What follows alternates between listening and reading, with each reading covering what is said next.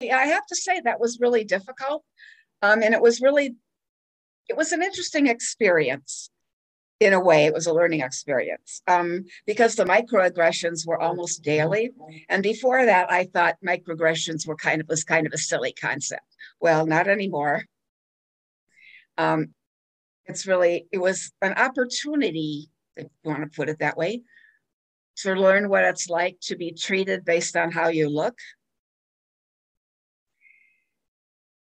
which is something that the whole world of people of color need to deal with every day.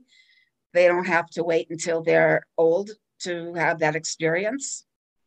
Um, and it didn't take very long to realize how crushing that was and to imagine what that would be like for people. And I know it was a, such a microcosm of that experience, but still, yeah, it's too bad it happens to people.